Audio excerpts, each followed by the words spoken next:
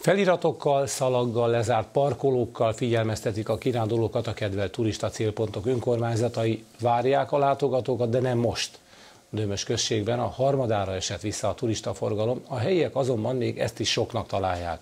Az operatív törzs az ATV kérdésére válaszolva emlékeztetett, a kiárási korlátozás csak családi körben teszi lehetővé a közös szabadtéri programot.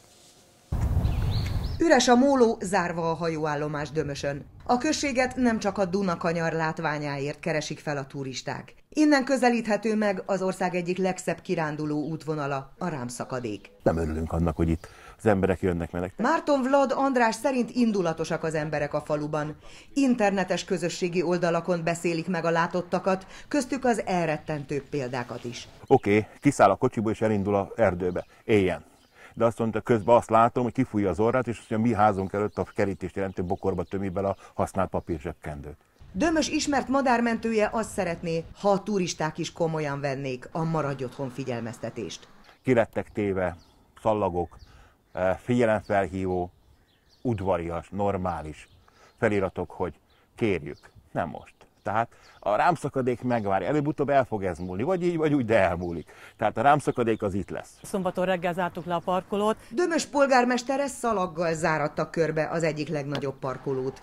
Ezzel is felhívva a figyelmet, várják a kirándulókat, de nem most. Én is, és a képviselőtestet is szeretnénk megóvni a lakosoknak az egészségét, hisz Dömösön még nincsen ö, fertőzött ö, személy.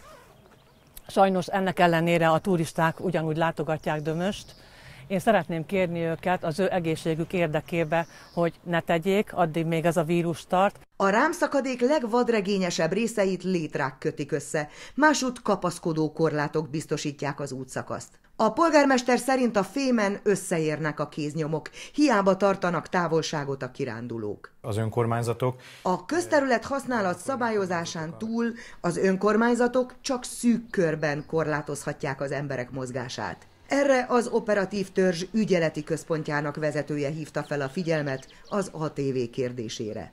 Természetesen az a lehetőség, hogy valaki sétálhat és szabad levegőn tartózkodhat, az nem jelenti azt, hogy csoportosulni kell, és hogy egymással közelségben töltsék el a szabadidejüket, főleg hosszú távon. Lakatos Tibor arra is emlékeztetett, hogy az együttlétet csak a családok számára teszi lehetővé a kiárási korlátozás.